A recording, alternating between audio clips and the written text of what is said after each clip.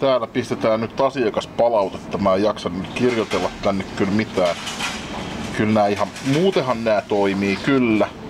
Mutta kahvi on ala-arvoisen pahaa. En koskaan tule tänne kahville ennen kuin tilanne korjaantuu. Milloin aiotte korjata asian ja päivämäärä. Ja nyt jäädään sitten odottelemaan, että sieltä saapuu sähköpostia. Toivottavasti kahvi joskus paranee. Muuten on palvelut jees.